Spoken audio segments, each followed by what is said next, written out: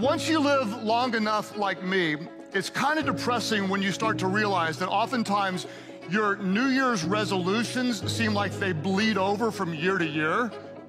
I don't know if any of you are like this.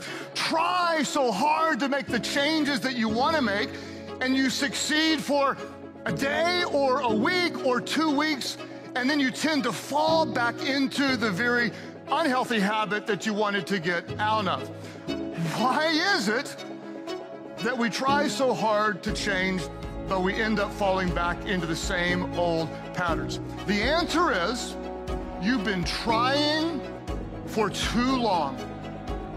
That's why I came to tell somebody to change your strategy. You need to stop trying and start training. It's time to stop trying and start training. Why? Talk about the difference for just a moment.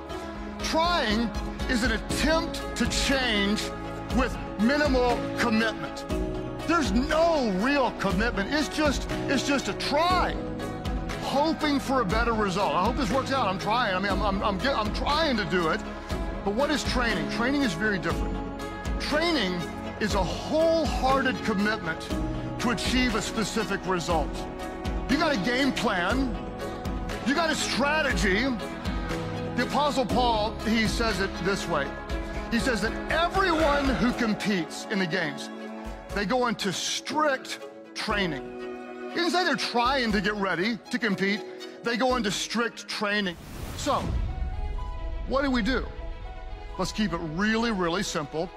It's consistently doing what I can do today to enable me to do even more tomorrow. Can you run a marathon today? Most of you would have to say, no way. Can you walk a mile today? You can. If you can walk a mile today, you're in training. I'm doing what I can do. Tomorrow, I promise, I'll do even more. Uh, some of you may find that you've tried and you've tried and you've tried and you just, you continue to hit a wall. I would encourage you again not to try in your own power. And there is a power greater than anything this earth offers that comes straight from heaven.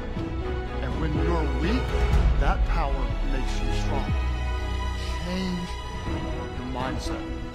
We're not trying to honor God. We're in training to do what God created us to be. Whenever you're trying, you're hoping to become something that you're not. But when you're training, you're becoming more of what God says you are today.